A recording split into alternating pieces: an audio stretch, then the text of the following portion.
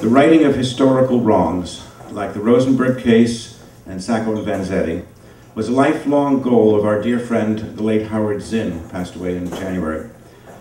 Howard's play Emma inspired the musical which brought Helene and me together, my E.G., a musical portrait of Emma Goldman. This was the first song of mine she sang, and she sung it now in 50 productions in five countries.